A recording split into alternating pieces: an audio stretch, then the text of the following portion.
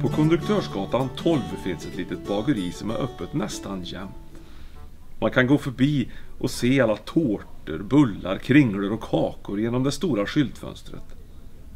Där inne finns också bagaren Bobo och det är han som bakar alla godsakerna. Han kliver upp nästan mitt i natten när alla andra sover och börjar knåda de olika degarna. Vad är det för degar? Det, är lite, det är lite olika eh, bakdegar. Liksom. Hej! Här sitter ni och läser. Vad bra! Vet ni hur många bra saker som händer när man läser högt för sina barn? Nej. Nej. Eller, nej. Genom läsningen så stärker man anknytningen och skapar närhet med barnet. Det blir plats för det spontana empatiska samtalet. Barnet får träna på både riktad och delad uppmärksamhet. Man tränar sin koncentration. Barnet utvecklas också språkligt, socialt och känslomässigt. Och så blir det mer förberett för skolan och livet. Ja, Bra grejer. vad spännande. Berätta mer. Vad är det man blir bra på? Jo, man blir bra på det man tränar. Och när man tänker på läsning så kanske man först tänker på språkutveckling. Men det finns ju faktiskt saker som man tränar som är väldigt viktiga och som handlar om andra delar av hjärnans utveckling. Det jag tänker på först och främst är närhet. Eh, En av de absolut viktigaste sakerna, att anknytningen mellan barn och vuxen stärks genom att man får tid för varandra. Och alla lussekatterna här nere ser du. Anknytningen har stor betydelse för barns känslomässiga utveckling och självkänsla samt förmåga att skapa relationer. Men spontana empatiska samtalet, vad, vad betyder det egentligen? Jo, när det uppkommer en situation där man kan få barnet att verkligen känna sig lyssnad på. Men när är det egentligen man har sådana här samtal med sina barn då? Då man faktiskt får reda på saker. Är det när man går på ICA, man ska handla massa saker och det är stressigt och skrikigt och sent på eftermiddagen? Eller är det när man ska få iväg barnen till skolan och det är stressigt och skrikigt och tidigt på morgonen? Eller är det i andra situationer? För mig och för många så är det inte ovanligt att de samtalen kommer när man till exempel har suttit och läst en bok eller ligger i sängen eller sitter i soffan tillsammans. Du Johan, Mm.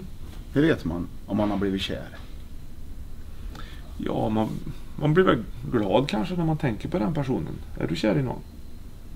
Ja, eller ja, det kanske, är- det, jag kanske är det. I, I Maja, i klassen. Vad roligt.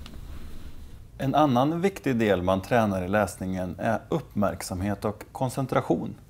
Dessa funktioner är väldigt centrala i många av de vardagssituationer som vi befinner oss i, både i skolan men också utanför skolan. När man läser tränar man också en viktig social färdighet kallad joint attention. Alltså att man har en delad uppmärksamhet. Något som man gör tillsammans, som man upplever det tillsammans. Fyll den här, sa han. Har du sett vilken läskig tjuv? Va? Med så riktigt, riktigt tuffa tjuvskor på sig.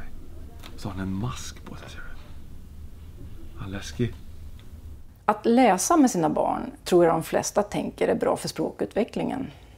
Men vad är det då för bra saker som händer? Jo, men det är ju stor skillnad för de flesta i vardagsprat jämfört med skriven text. Det är ju fler ord i skriven text och framförallt annorlunda ord, vilket innebär att det ordförrådet stärks när man läser högt för sina barn än när man bara pratar med dem. Att lära sig språket handlar också om att ha fokus på hur ord låter. Barn tränar ju det här genom bland annat rim och ramsor. Baka, baka, liten kaka, rulla, rulla, liten bulla. Mjöla den och den och skjutsa in i ugnen. Baka, baka, liten kaka, rulla, rulla, liten bulla. Mjöla den och picka den och skjutsa. Man lyssnar på hur, om ord låter lika, om ljuden är långa eller korta. Att lära sig bokstavsljuden är en viktig förberedelse för att lära sig läsa. När man läser tillsammans med sina barn så ger man dem en större beredskap för skolans värld. Det är ju till och med så att om man läser för barnen varje kväll, från det att de använder pekböcker tills de börjar skolan, så har de en språkutveckling som ligger ett helt år före jämfört med barn som inte läst lika ofta. Du, du ska ju snart sluta på förskolan. Börja i skola för de lite större barnen. Hur känns det? Ja, förvisso så kommer jag ju att sakna mina förskolepedagoger och mina vänner men samtidigt känner jag en tillförsikt inför en progression i utmaningarna.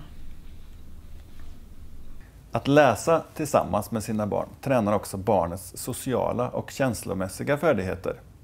När man läser tillsammans tränar man på de känslor som historierna tar upp. På natten hade Bobo svårt att sova. Han tänkte på tjuven som satt någonstans och mumsade på alla hallongrottorna. Plötsligt kom han på att tjuven kanske inte visste att man kan få väldigt ont i magen när man äter alldeles för många kakor. Och det spelar då självklart roll hur man läser boken.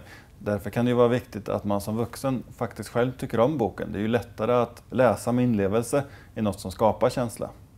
Att läsa tillsammans tränar också de sociala färdigheterna genom att man i fantasins värld övar på olika situationer.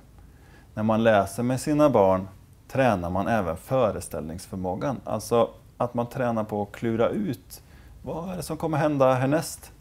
Det är en viktig förmåga i vardagssituationer. Hur ska jag göra då som förälder när jag sitter och läser med mitt barn? Alltså först och främst vill jag bara säga att det viktigaste är att man läser, inte hur det ser ut eller hur man gör. Utan det viktigaste är bara att man läser tillsammans. Sätt liksom inte så höga krav på er själva och hur det ska vara och så, utan bara att läsa det är det viktigaste. Eh, men det finns ju några saker man kan tänka på. Mm.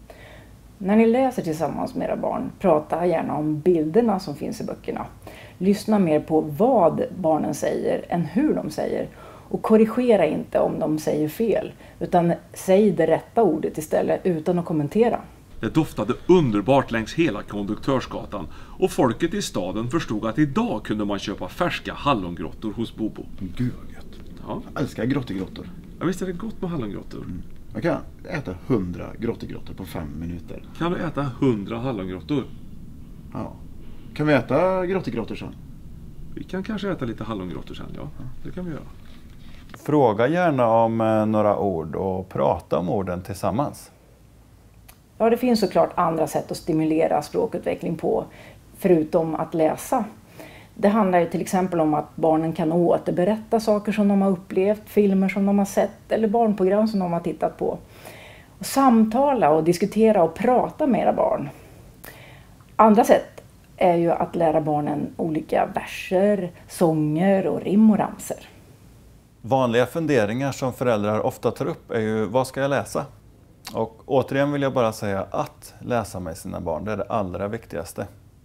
Och mitt bästa tips är nog att ni tar med era barn till biblioteket och tar hjälp av den otroliga personalen som finns där att hitta bra böcker och sätt att skapa läslust.